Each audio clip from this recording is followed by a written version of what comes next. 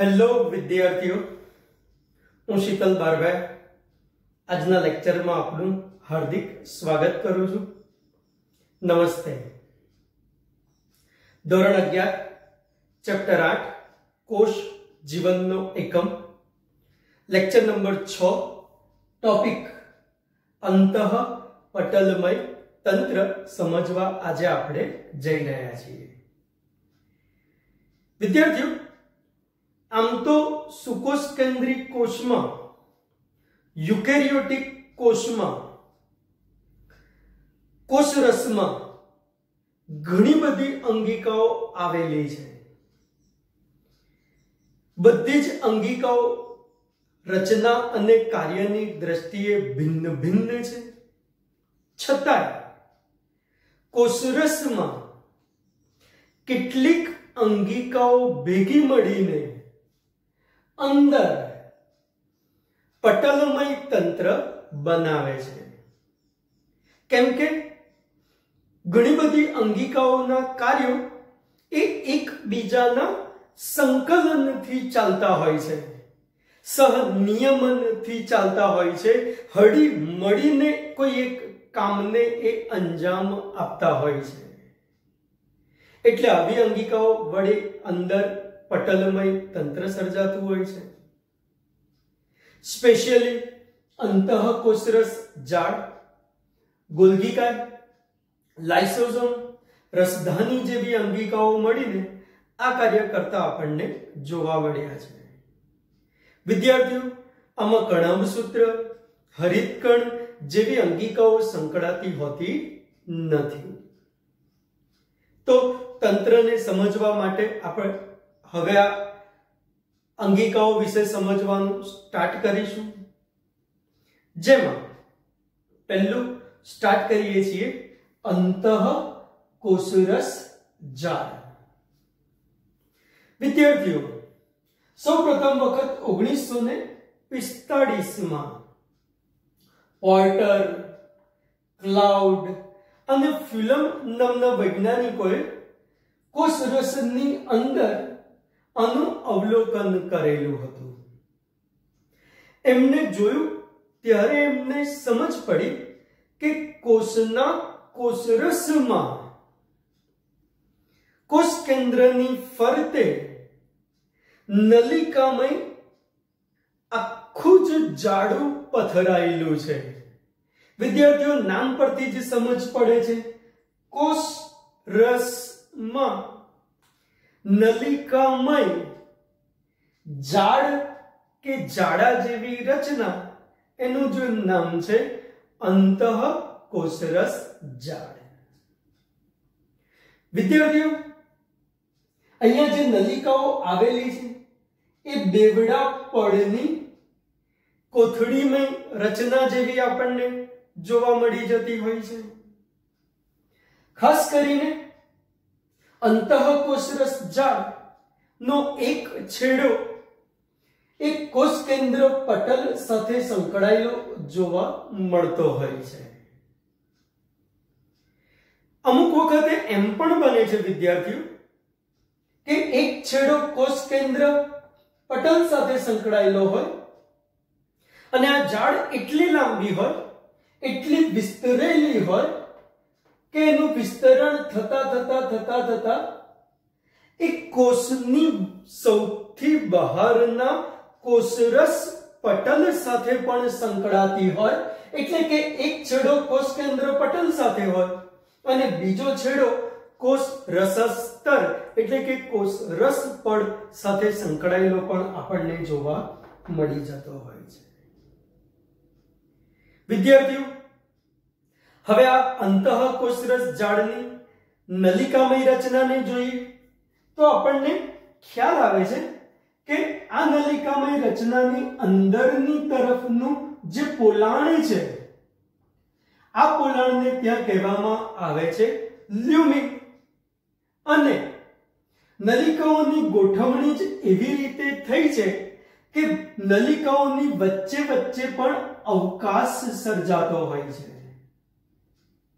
નલિકાની વચ્ચે વચ્ચે જે અવકાશ સર્જાય, એને ત્યાં કહેવામાં આવે છે સિસ્ટોલ. સિસ્ટોલ એ ખાસ કરીને દ્રવ્યોના વહનમાં, પરિવહનમાં એક અગત્યનો માર્ગ પૂરો પાડે છે. હાઈવે પૂરો પાડવાનું કામ કરે છે. ત્યાંથી જ ઘટકો એ સરળતાથી એક જગ્યાએથી બીજી જગ્યાએ પણ વહન કરતા આપણે જોવા હોય તો જોઈ શકીએ છીએ. આવી અંતઃકોષરસ જાળ. વિદ્યાર્થીઓ, આગળના લેક્ચરમાં આપણે આદિકોષ કેન્દ્રી કોષ પ્રોકેરિયોટિક કોષ જોયો. ભણ્યા. એમાં આવી રચનાઓ જોવા મળતી નથી. ઇવન આપણું રક્તકણ છે, પરિપક્વ થાય ત્યારે, ત્યાં પણ અંતઃકોષરસ જાળ જોવા મળતી નથી. એટલે કે પ્રોકેરિયોટિક કોષમાં અને રક્તકણમાં અંતઃકોષરસ જાળનો અભાવ રહેતો આપણને જોવા મળી શકે છે. વિદ્યાર્થીઓ, આ અંતઃ કોષરસ જાળ બે પ્રકારની આપણને જોવા મળે છે. એક નું નામ છે રફ એન્ડોપ્લાઝમિક રેટિક્યુલમ. એટલે કે કણિકામય અંતઃકોષરસ જાળ. એટલે કે કોષ કેન્દ્રની જનરલી ફરતે ફર્સ્ટ લેયરમાં જે અંતઃકોષરસ જાળ જોવા મળી છે, એ અંતઃકોષરસ જાળ પર આપણને રિબોઝોમ્સ ઘણા બધા ચોંટેલા જોવા મળતા હોય છે. ચોંટી શકે છે, કારણ કે ત્યાં સ્પેશિયલ રિબોફોરિન નામનું ગ્લાયકોપ્રોટીન આવેલું હોય છે. પ્રોટીનની હાજરીને લઈને રિબોસોમનો અણુ આવીને અંતઃકોષરસ જાળ પર ચોંટી જતો હોય છે. એટલે આ અંતઃકોષરસ જાળ એ કણ કણ કણ કણ ચોંટેલા હોય એવી દેખાતી હોય છે. એટલે એને નામ આપ્યું છે કણિકામય અંતઃકોષરસ જાળ. ઇંગ્લિશમાં કહીએ તો રફ એન્ડોપ્લાઝમિક રેટિક્યુલમ. ખાસ કરીને જે જે કોષો પ્રોટીનનું સંશ્લેષણ, સર્જન કરે છે, ઉપરાંત જે જે કોષો પ્રોટીનનો સ્ત્રાવ કરે છે. આપણા શરીરમાં ઘણી બધી અંતઃસ્ત્રાવી ગ્રંથિઓ છે પિચ્યુટરી ગ્રંથિ છે, સ્વાદુપિંડ છે. આવી જગ્યાએથી જે હોર્મોન્સ નીકળે છે વિદ્યાર્થીઓ, એ પ્રોટીનની યુક્ત હોય છે. તો એ એ ગ્રંથિઓના કોષો પ્રોટીન સ્ત્રાવી કહેવાતા હોય. એ તમામે તમામ કોષોમાં જે અંતઃકોષરસ ઝાડ જોવા મળે, એ મોટે ભાગે આજ એટલે કે કણિકામય જ અંતઃકોષરસ ઝાડ આપણને જોવા મળતી હોય છે. વિદ્યાર્થીઓ, ત્યાં અંતઃકોષરસ ઝાડ ઘણી બધી વિસ્તરેલી કહી શકીએ છીએ. ત્યાં જે ખાસ કરીને કોષરસ પટલ સુધી બી સંકળાયેલી જોવા મળે છે. અને સંકળાય કારણ કે એને હોર્મોન્સ અંતસ્ત્રાવને રિલીઝ કરવાનો છે, સ્ત્રાવ કરવાનો છે, એક કોષમાંથી બીજા કોષો સુધીને પહોંચાડવાનો છે. એટલે ત્યાં કણિકામય અંતઃકોષરસ ઝાડ ખૂબ જ વિસ્તરેલી, ખૂબ જ ફેલાયેલી, ગોઠવાયેલી આપણને જોવા મળી શકે છે.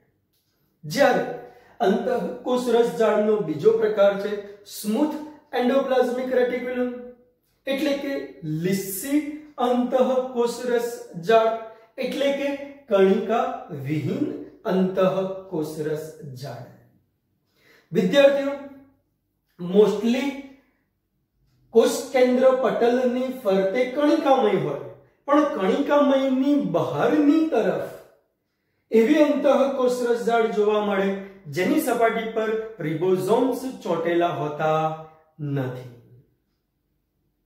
દેખાય છે વિદ્યાર્થીઓ? એટલે આ કણિકા વિહીન અંતઃકોષરસ ઝાડ કહી શકાય છે. ખાસ શરીરમાં આવેલા જે જે કોષો લિપિડનું સર્જન સંશ્લેષણ કરતા હોય. જે જે કોષો લિપિડમય અંતઃસ્ત્રાવોનો સ્ત્રાવ કરતા હોય, સ્ટીરોઇડલ હોર્મોન્સનો સ્ત્રાવ કરતા હોય. એવા તમામે તમામ કોષોમાં આવા પ્રકારની એટલે કે લિસ્સી અંતઃકોષરસ જાળ આપણને જોવા મળી જતી હોય છે. વિદ્યાર્થીઓ, આ ઉપરાંત આપણી બુકમાં ઘણી બધી બાબતો એમ છે કે જે આપેલી નથી. ચલો, એની બી ચર્ચા આની સાથે સાથે કરી લઈએ. વિદ્યાર્થીઓ, હવે હું તમને પહેલી એક આકૃતિ બતાવું છું. જોઈ લો જરા. વિદ્યાર્થી, આ આકૃતિમાં આપણે જોયું કે બે કોષો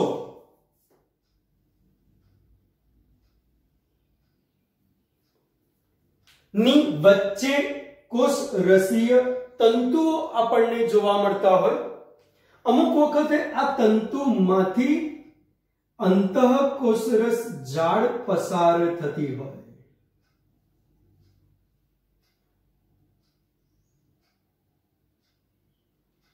કોષરસીય તંતુ એટલે કે પ્લાઝ્મોડેસ્મેટામાંથી જો અંતઃકોષરસ જાળ આવી પસાર થતી હોય, તો ત્યારે એ અંતઃકોષરસ જાળને કહેવાય છે ડેસ્મોટ્યુબ્યુલ્સ. શું કહીશું વિદ્યાર્થીઓ? ડેસ્મોટ્યુબ્યુલ્સ. હવે બીજી આકૃતિ તમે લોકો જોઈ લો.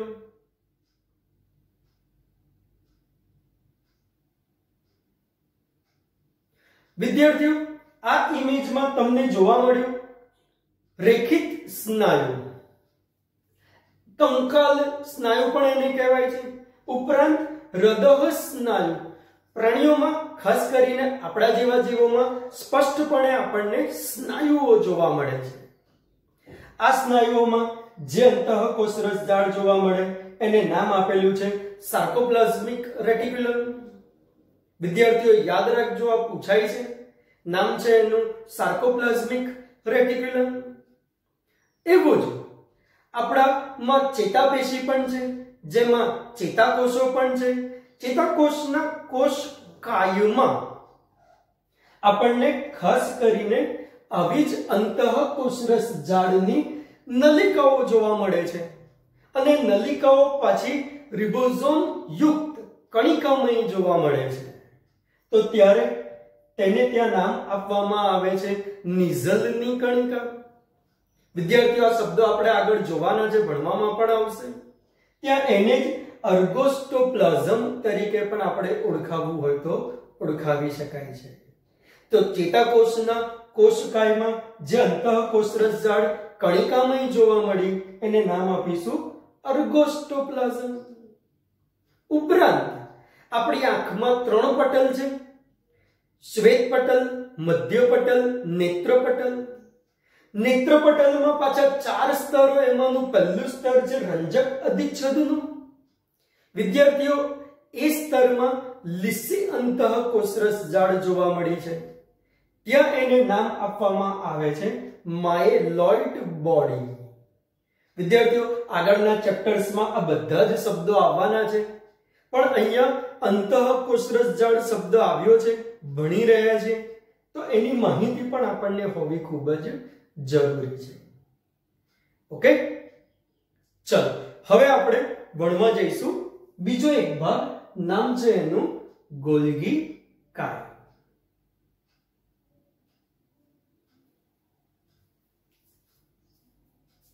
The endomembrane system is a collection of membrane based organelles that work together to create, modify, and export cell products such as proteins and lipids. It consists of the nuclear envelope, the rough and smooth endoplasmic reticulum, the Golgi apparatus, and several types of vesicles. Let's start our tour with the endoplasmic reticulum. There are two types of endoplasmic reticulum rough and smooth. The rough endoplasmic reticulum, or rough ER, is studded with ribosomes. These ribosomes are what give the rough ER its rough appearance. Ribosomes are responsible for producing proteins, which are packaged into transport vesicles and carried to the Golgi apparatus. The smooth endoplasmic reticulum, or smooth ER, lacks ribosomes on its surface. This is why it's called smooth. The smooth ER is mainly responsible for the detoxification of harmful chemicals. It's also responsible for the production of lipids, which are also packaged into transport vesicles and sent to the Golgi apparatus. The Golgi apparatus is made of a series of flattened sacs that look a little like pancakes. Its job is to package and distribute cell products that are either destined for a specific location within the cell, such as the plasma membrane, or for secretion from the cell. You can think of the Golgi apparatus as the post office of the cell, where packages are dropped off and destinations are assigned. For example, some of the proteins from the rough ER are modified by the Golgi apparatus to become digestive enzymes, which are packaged into a special type of vesicle called a lysosome. The job of this particular lysosome is to fuse with another vesicle coming in from the plasma membrane. The lysosome's digestive enzymes then break down the contents of the vesicle, releasing nutrients for the cell. Other cell materials leaving the Golgi apparatus may be destined for secretion from the cell. For example, some might be hormones that help with body regulation, while others might be proteins that become part of the materials surrounding the cell. Before these products can be exported from the cell, they must first be packaged into a secretory vesicle. This vesicle then merges with the plasma membrane, releasing its contents into the external environment.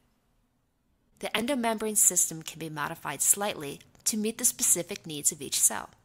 For example, a muscle cell usually has more rough ER because of its need for protein, while a liver cell usually contains more smooth ER because of its role in detoxification. વિદ્યાર્થીઓ હવે આપણે વાત કરવા જઈ રહ્યા છીએ અંતઃપટલમય તંત્ર ની બીજી રચના ગોલગીકાયને સમજવા. ગોલગીકાય અઢારસો ને અઠ્ઠાણુંમાં સૌ પ્રથમ ઇટાલિયન ન્યુરોલોજિસ્ટ કેમિલો ગોલ્ગીએ જ્યારે ઘુવડના ચેતાકોષ ને માઇક્રોસ્કોપમાં ઓબ્ઝર્વડ કર્યું સ્પેશિયલી એમને અભિરંજક વાપરેલું એજી એનો થ્રી સિલ્વર નાઇટ્રેટ તો તો એમને અંતઃકોષરસ ઝાડની નજીક જ નલિકામાં થપ્પી કે નલિકાઓની ગોઠવણી જોવા મળી. એમના નામ ઉપરથી નામ આપેલું છે ગોલ્ગીકાય એને ગોલગી પ્રસાધન એને ગોલગી બોડી તરીકે બી આપણે ઓળખાવીએ છીએ વિદ્યાર્થીઓ. ઓગણીસો ને છ માં ત્યાર પછી કેમિલો ગોલગીને નોબલ પારિતોષિક પણ આપવામાં આવેલું છે. વિદ્યાર્થીઓ આદિકોષ કેન્દ્રી કોષની ચર્ચા આપણે કરેલી છે આગળ. ત્યાં આવી અંગિકા જોવા મળતી નથી. ઉપરાંત પરિપક્વ રક્તકણમાં પણ ગુલગીકાય જેવી અંગિકાનો અભાવ રહેતો આપણે જોવો હોય તો જોઈ શકીએ છીએ. વિદ્યાર્થીઓ પ્રાણીકોષમાં સ્ટડી કર્યા બાદ ઓગણીસો ને દસમાં પેરોનસિટો વૈજ્ઞાનિકે ખાસ યાદ રાખજો પેરોનસિટો વૈજ્ઞાનિકે વનસ્પતિ કોષમાં પણ આવી રચના શોધવાનો પ્રયત્ન કર્યો. એમને સક્સેસ પણ અમુક અમુક કોષોમાં મળ્યું. વનસ્પતિ કોષમાં જો આ રચના જોવા મળે તો ત્યારે એને નામ આપવામાં આવે છે ડિક્ટિયોઝોમ વિદ્યાર્થીઓ, યાદ રાખજો. વનસ્પતિ કોષમાં જો ગોલ્ગીકાય જોવા મળે તો ત્યારે એને કહેવામાં આવે છે ડિક્ટિયોઝોમ ઓકે. હવે આ રચનાની ઉત્પત્તિ, નિર્માણ, સર્જન કેવી રીતે થાય છે? તો અંતઃકોષરસ જાળની જે નલિકાઓ છે, એ અહીંયાથી જ છૂટી પડતી જાય છે. અને એક બીજા પર થપ્પીમય ગોઠવણીમાં ગોઠવાતી જાય છે. આમ તો ચારથી આઠ નલિકાઓની જ થપ્પી જોવા મળે છે, પણ ક્યારેક ક્યારેક ત્રણથી વીસ નલિકાઓ પણ ગોઠવાયેલી જોવા મળેલી છે. તો આ થપ્પીમય નલિકાઓની જે ગોઠવણી છે, એ જ ગોલ્ગીકાય છે.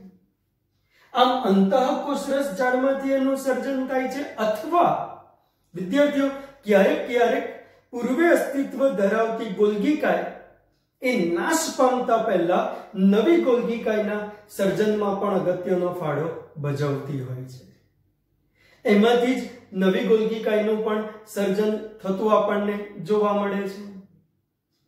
આવી ગુલગીકાયની રચનામાં કહીએ તો ચપટી બિંબ આકારની કોથળીઓ જોવા મળેલી છે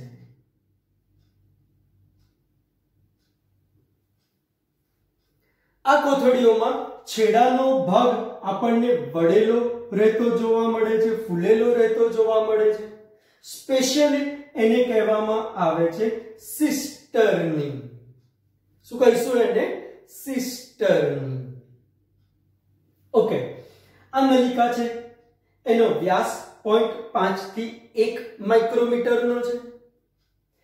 આ નલિકાની થિકનેસ પંદરથી વીસ નેનોમીટરની છે.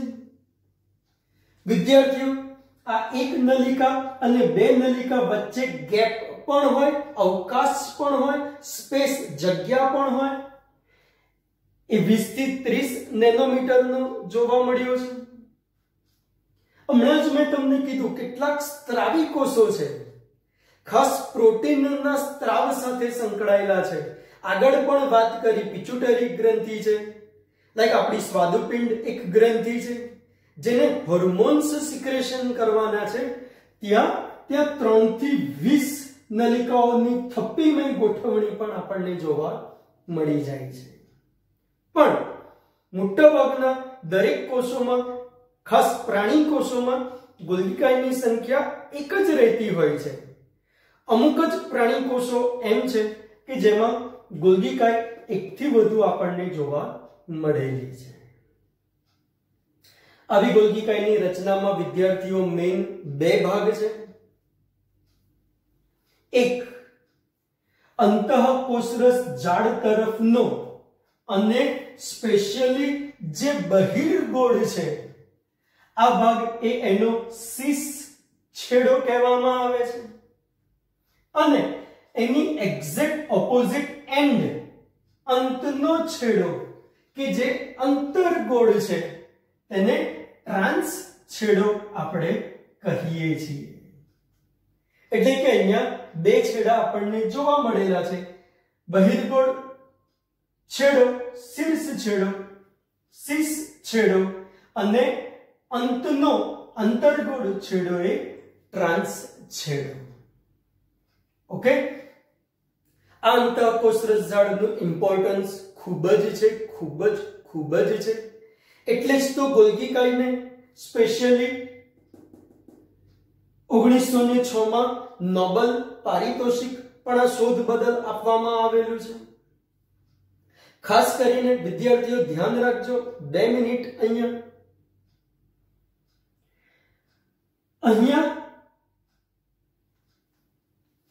જો અંતઃકોષરસ ઝાડની સપાટી પર રિબોઝોમ્સ ચોંટેલા હોય? તો રિબોઝોમ એ તો પ્રોટીનની ફેક્ટરી છે. પ્રોટીન પ્રોડ્યુસ કરશે. આવું પ્રોટીન અંતઃકોષરસ ઝાડની નલિકાઓમાંથી બહાર આવશે. પુટિકા સ્વરૂપે બહાર આવે. મીન્સ એની ફરતે આવરણ બનીને એ બહાર આવે. બહાર આવે એટલે ગોલ્ગીકાયના શીશ છેડા આગળથી એ એન્ટર થાય ગોલ્ગીકાયમાં ગોલ્ગીકાય એ પ્રોટીનને ગ્રહણ કરે. જરૂર પડે તો એ પ્રોટીનના બંધારણમાં ફેરફાર કરે. પ્રોટીનને ગ્લાયકોપ્રોટીનમાં કન્વર્ટ કરે. પ્રોટીનને ગ્લાયકોપ્રોટીનમાં પણ કન્વર્ટ કરે. અને પછી એની ફરતે નવું આવરણ બનાવે. નવું પેકેજિંગ તૈયાર કરે. અને ત્યાર પછી એ જટિલ પ્રોટીનને ટ્રાન્સ છેડા આગળથી એ બહાર છોડે. આવા ઘટકો કોષોની અંદર પણ ક્યાંક કશે કામમાં આવી શકે છે.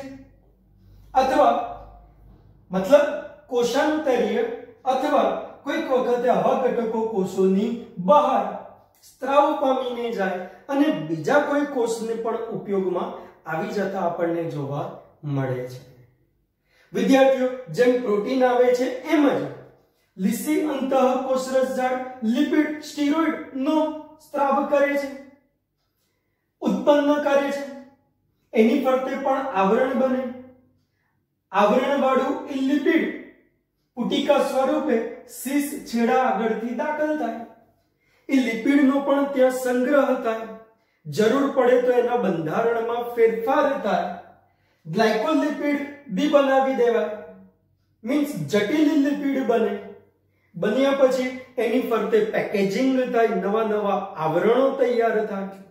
અને ત્યાર પછી એ જટિલ લિપિડને પણ ટ્રાન્સ છેડા આગળથી જ કોષોની અંદર કોષાંતરીય કે કોષોની બહાર સ્ત્રાવ કરીને મોકલવું હોય તો આપણે મોકલી શકીએ છીએ. મીન્સ એક કોષમાંથી બીજા કોષમાં જો દ્રવ્યોને મોકલવા હોય, તો વાયા ગોલગીકાઈ જ મોકલી શકીએ છીએ. That's why ગોલગીકાઈને middle man of the cell પણ આપણે કહેવું હોય તો કહી શકીએ છીએ. વિદ્યાર્થીઓ, આજ ગોલ્ગીકાઈમાંથી ઘટકો નીકળે છે. જેની ફરતે લિપોપ્રોટીનનું એક જ આવરણ હોય, એક જ પુટિકા હોય. તો આવી પુટિકા ક્યારેક ક્યારેક એ લાઇસોઝોમ તરીકે પણ વર્તે છે. મીન્સ લિપોપ્રોટીન યુક્ત એક આવરણ વાળી જે અંગિકા લાઇસોઝોમ છે, એનું સર્જન કરવાનું કામ એ ગુલગીકાઈ દ્વારા પણ થઈ જતું આપણને જોવા મળે છે. ગુલ્ગીકાઈ આમ ખૂબ જ ઉપયોગી છે. વિદ્યાર્થીઓ, ખાસ અહીંયા તમારે ડિક્ટિયોઝમ શબ્દને યાદ રાખવાનો છે. વિદ્યાર્થીઓ, ખાસ કરીને સીસ અને ટ્રાન્સ ભાગને આપણે યાદ રાખવાના છે. વ્યાસ, થિકનેસ અને ગેપ પણ આપણે યાદ રાખવાની છે. નીટમાં, ગુજકેટમાં અલગ અલગ રીતે આપણને આ પૂછાતું હોય છે. ઓકે? Thank you.